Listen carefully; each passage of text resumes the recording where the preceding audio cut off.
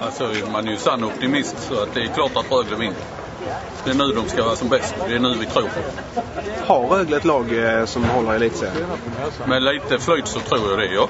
Ja, jag hoppas ju på vinst och det kommer att bli. Hur mycket då? 3-1. En säker seger? Ja, det blir nog tufft. Ja. Men det blir vinst.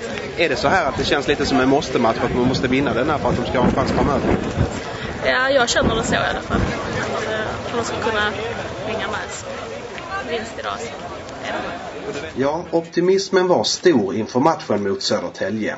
Efter förlusten i premiären senast var en seger viktig och intresset hade skruvats upp i Ängelholm.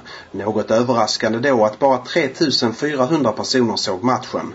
Och laget gjorde väl ingen bra reklam för sig med tanke på vad som hände under de två första perioderna. Då hade gästerna skaffat sig en till synes trygg 3-0 ledning. Men Andreas Byström reducerade tidigt i den sista perioden och när Jakob Johansson sköt 2-3 med nio minuter kvar, ja då var Rögle riktigt på gång.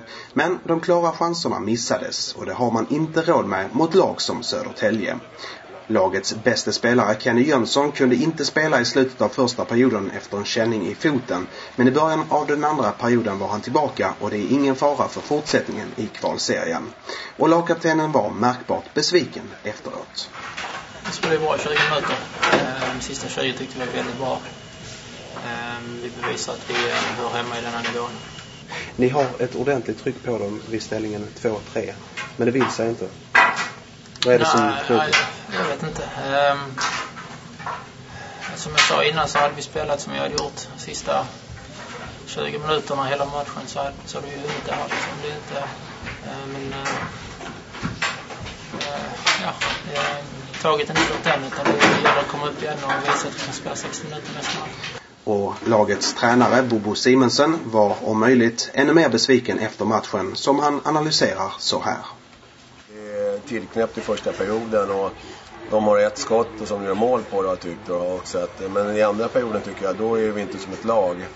Då spelar vi rätt ensamma, vill inte vara med ute på isen. Så att, eh, sen tycker jag i tredje perioden, vi får ett tidigt mål och får lite energi på det. Och så att, eh, så att, eh, men eh, som sagt var otroligt besviken på att vi inte kunde spela bättre i andra perioden. Nu är det två, vad ska vi säga, hedersamma förluster. Hur arbetar man vidare utifrån detta? Nej, det är bara att inse att vi ska vara lediga imorgon och sen ska vi ladda batterierna för jag kommer inte acceptera och inte laget heller att vi ska åka till Leksand och vi ska åka dit och vinna tre poäng. Då är vi med igen. Det var rätt många onödiga utvisningar till synes i alla fall. Hur ser du på Nej, jag är otroligt besviken på de här utvisningarna som vi drar på oss i, i andra perioden. Alltså, det går inte att spela så. Alltså, det, så får man, nu får man se, får man titta igenom i matchen igen här och på video och analysera. Titta, kan man spela med de spelarna som drar på sig? Det, det får vi se då.